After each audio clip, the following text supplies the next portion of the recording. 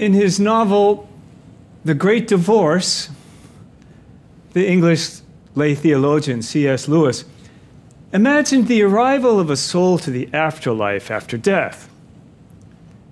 In the story, he describes hell as something of a, a dingy place where it's always twilight and people are always quarrelsome.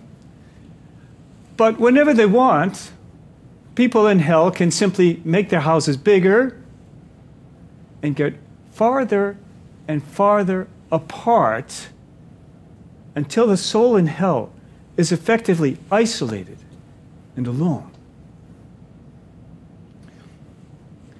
That's not exactly how Jesus describes hell for the rich man in today's readings, but perhaps it offers another analogy to understand what happened to him.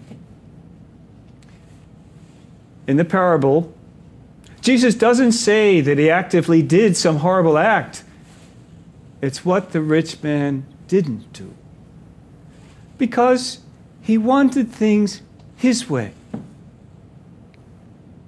It ought to be a wake up call for us now in our very individualistic world. When I was a, a kid in high school in the 60s, there was a big hit from Frank Sinatra. It's probably his last big hit. It was called I did it my way. Some of you may not remember. He just belts out, I did it my way. It's really hard not to be influenced or even swept away by the individualistic tidal wave. I've had to recognize that in my life, how I've been affected by this. I want to do things my way.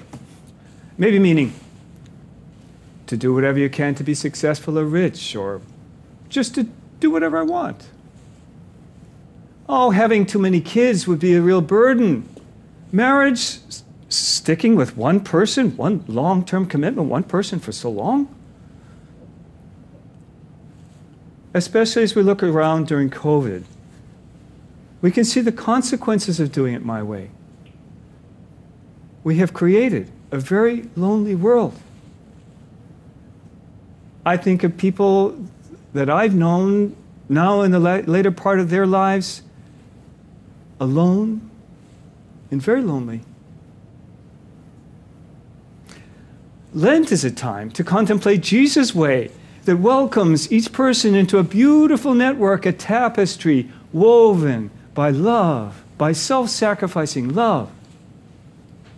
From chapter 1 of the book of Genesis to the book of Revelation, we're called to become a part of the body of Christ, a great family of families, a great interconnection, interconnectedness, to be led into the fullness of life, eternal life. Such a truly awesome vision. An essential element is simply the Christian family the Christian family, man and woman made in the image of God, becoming family, an icon of God's love.